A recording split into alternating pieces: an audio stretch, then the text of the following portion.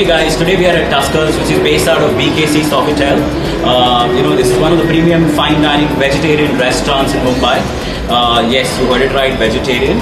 Uh, so we are here to experiment with their Gujarati and Marwadi food. They also have a chaat festival which is currently being running uh, in their outlet.